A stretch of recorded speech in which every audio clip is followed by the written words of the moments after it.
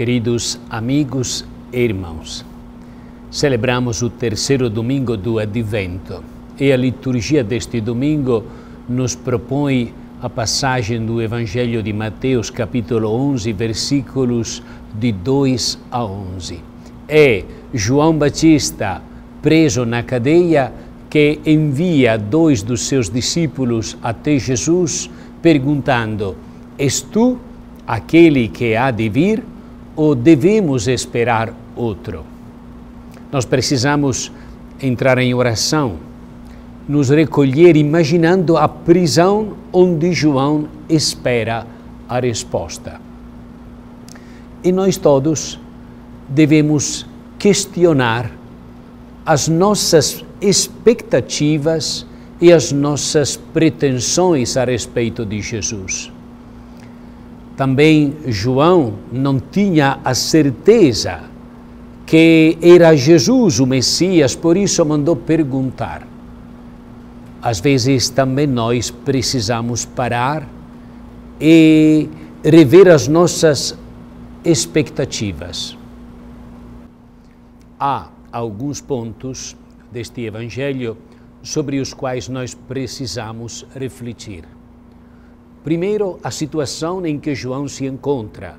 Ele está preso. Depois de ter lutado tanto para preparar o caminho do Senhor, está preso e não tem certeza que Jesus seja o Messias. Por isso, faz aquela pergunta: És tu ou devemos esperar outro?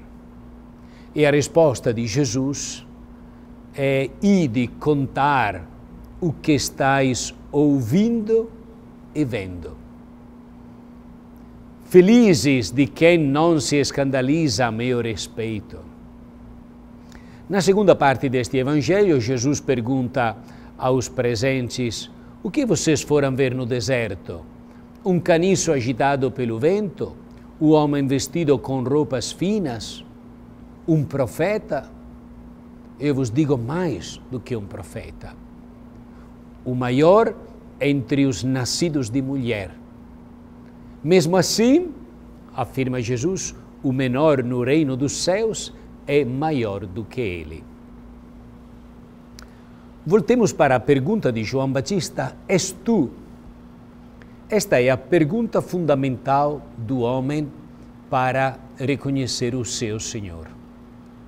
Jesus responde mostrando as suas obras, como se lhe dissesse: eu sou aquele que tu estás vendo a partir daquilo que eu faço.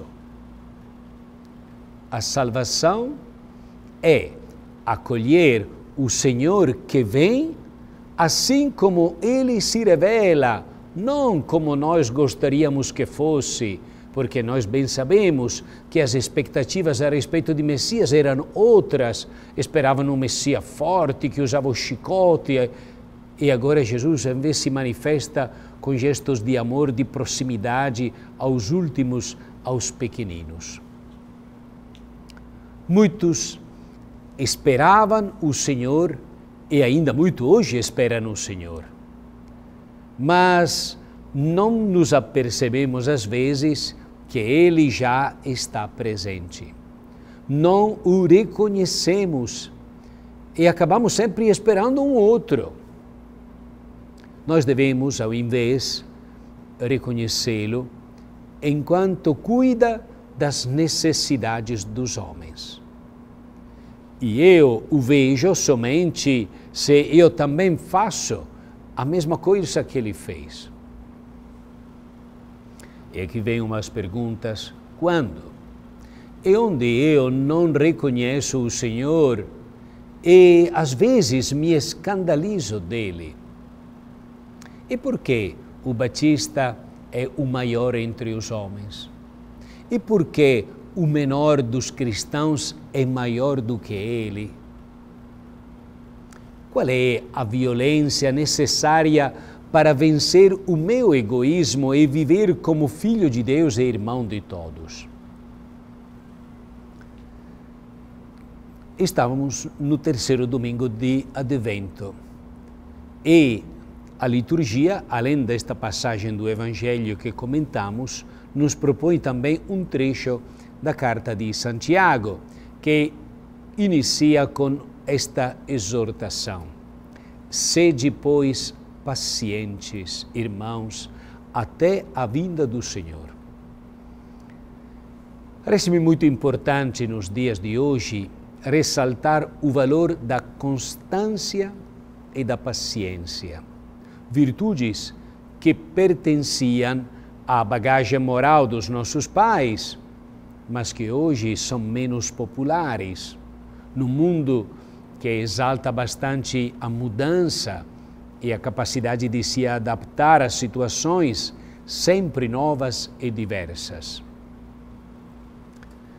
Sem de nada privar estes aspectos, que são também qualidades do ser humano, o advento nos chama a incrementar aquela tenacidade interior, aquela resistência do ânimo que nos permite não desesperar na expectativa de um bem que demora para chegar, mas a esperá-lo. Aliás, a preparar a sua vinda que com confiança, trabalhando. Vede como o lavrador, escreve Santiago, aguarda o precioso fruto da terra e tem paciência até receber a chuva e assim recolher os frutos. Tende também vós paciência e fortalecei os vossos corações, porque a vinda do Senhor está próxima. A comparação com o agricultor é muito expressiva. Quem semeou no campo tem diante de si alguns meses de espera paciente e constante, mas sabe que a semente, entretanto, realiza o seu percurso graças à chuva do outono e da primavera. O agricultor não é fatalista, mas é modelo de uma mentalidade que une de modo equilibrado a fé e a razão. Porque, por um lado, conhece as leis da natureza e realiza bem o seu trabalho, e por outro, confia na providência, porque algumas coisas fundamentais não estão nas suas mãos, mas nas mãos de Deus. A paciência e a constância são precisamente sínteses entre o compromisso humano e a confiança em Deus. Animai os vossos corações, diz a Escritura. E como é que podemos fazer isso? Como podemos tornar mais fortes os nossos corações, já em si bastante frágeis, e tornados ainda mais instáveis por causa da cultura na qual nós estamos imersos? A ajuda não falta.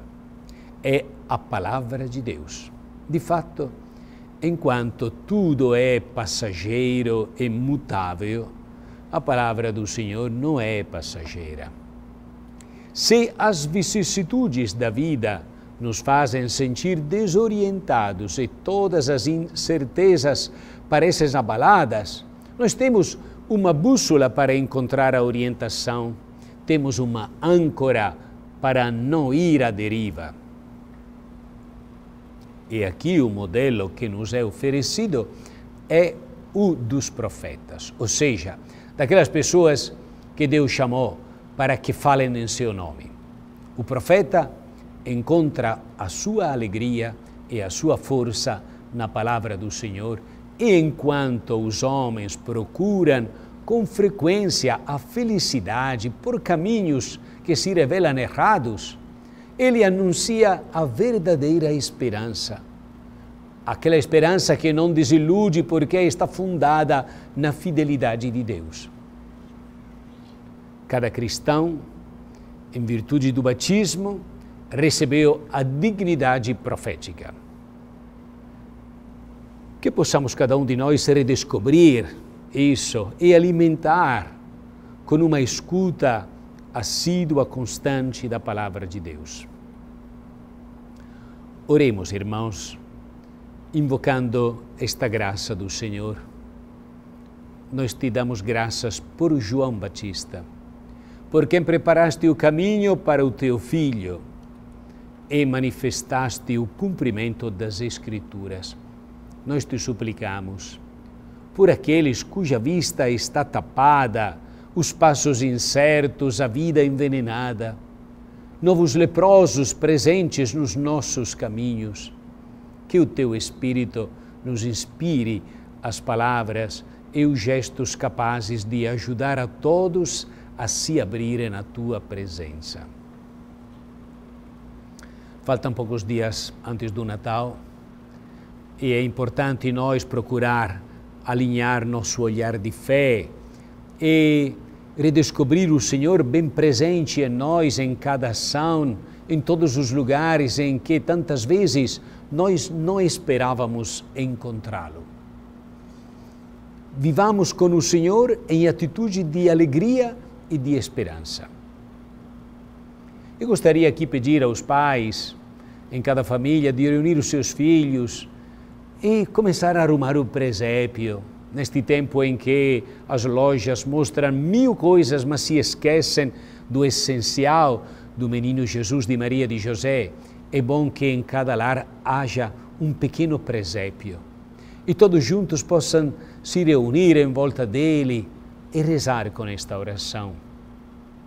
Deus nosso Pai, tu que tanto amaste os homens, que nos enviaste o teu único Filho Jesus, nascido da Virgem Maria, para nos salvar e reconduzir a Ti. Te pedimos que com a tua bênção, estas imagens de Jesus, de Maria e José, que está para vir até nós, sejam nas nossas casas sinal da tua presença e do teu amor. Pai bom, concede a tua bênção também a nós, aos nossos pais, às nossas famílias, aos nossos amigos. Abre o nosso coração para que saibamos receber Jesus na alegria, fazer sempre o que Ele pede e vê-lo em todos os que precisam do nosso amor. Isto te pedimos em nome de Jesus, teu amado Filho, que vem para dar ao mundo a paz. Ele vem e reina nos séculos dos séculos. Amém. E que sua bênção permaneça com todos, em nome do Pai, e do Filho, e do Espírito Santo. Amém.